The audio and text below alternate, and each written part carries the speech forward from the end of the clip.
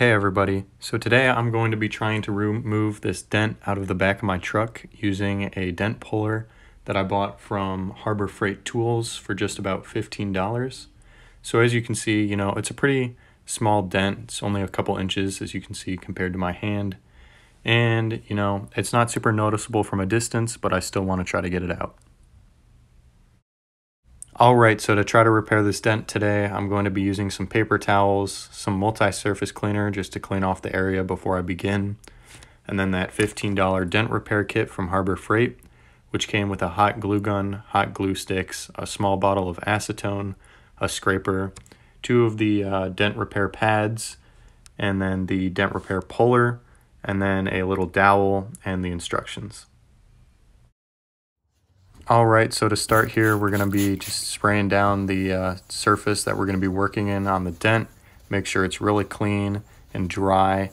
That way, when we go to put the hot glue on and put it on the stick, it's gonna stick and we're not gonna have to worry about it falling off early. So it'll actually cling to the dent and pull it out. All right, so now that our dent area is all nice and clean and dry, we're gonna wanna start by applying uh, a pretty generous amount of hot glue onto those dent puller tabs.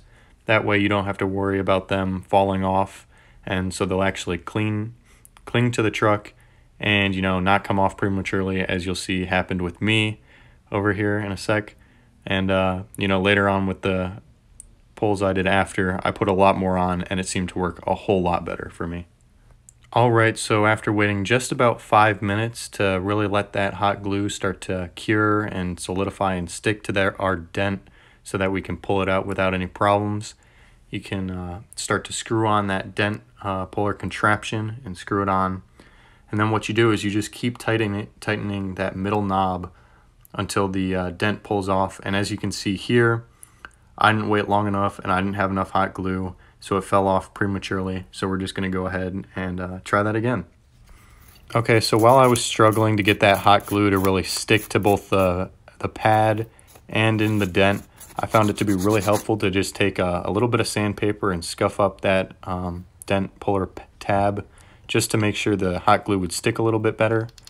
And then as you can see here, I put a whole ton more hot glue on just to make sure it really would stick and it would kind of ooze out and around and fill in that crack in the dent, a little crevice there. And here you can see me just sticking that on. You kind of want to hold it, make sure it sets up a little bit so it doesn't slide around. And then just same process as before, just screw on the dent puller contraption and start tightening it down until you hear a pop and the dent pulls out.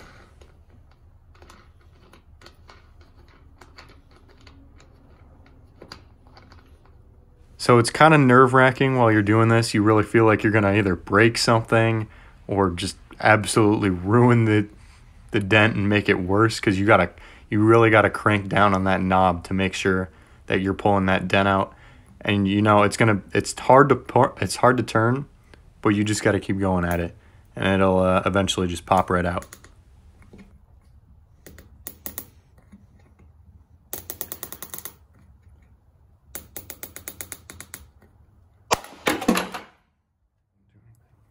So as you can see in the process of pulling that dent out, the hot glue stuck to the truck. It's not a bad thing. It's actually a really good thing because that means, you know, it's pulling it out. The dent's starting to come out. You just got to use the scraper that the kit came with to peel the glue back and you just keep going. You just got to keep pulling on that dent till it comes out. You just got to keep going at it. You know, it took me about an hour of doing uh, different uh, pulls in different areas on the dent to really try to get it out and uh, it comes out great in the end. You'll also notice that I used uh, just a little bit of paper towel just to kind of cushion those two uh, feet from the dent puller uh, just against the paint of the truck. That way, you know, it wasn't scuffing it up and it uh, wasn't going to create like pressure points areas and create new dents. That was the last thing I wanted to do.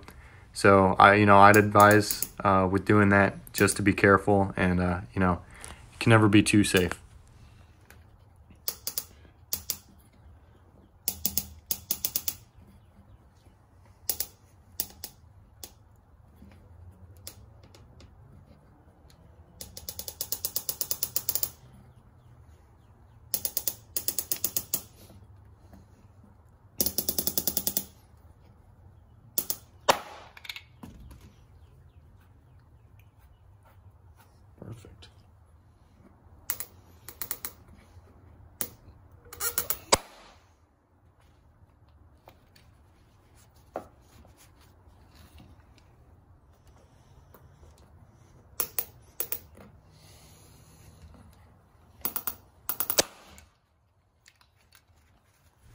All right, so once you've finished pulling out your dent and you've got it looking pretty perfect, you've got it how you want it, you can go ahead and start cleaning up the area that you've been working in.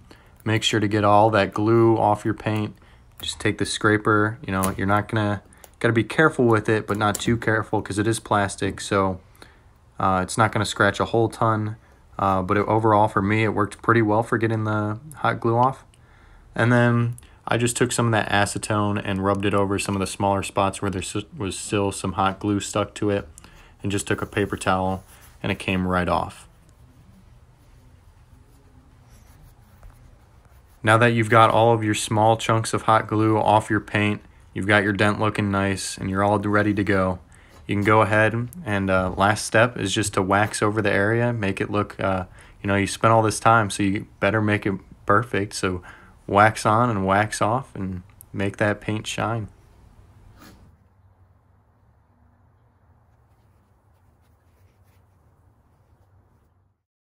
Okay, so as you can see here, I was able to get that dent mostly out for the most part. You know, it looks a whole lot better than it did at the start and when I first got that dent there. And you know, overall, using that kit, it was pretty easy. And for $15, you honestly can't get better than that. You know, it's $15. It's not going to be perfect. Did it get the dent out? Kind of, but it's also in a really hard spot to get dents out on that corner piece where, you know, that metal is really going to be under a whole lot of pressure and really not going to want to come out.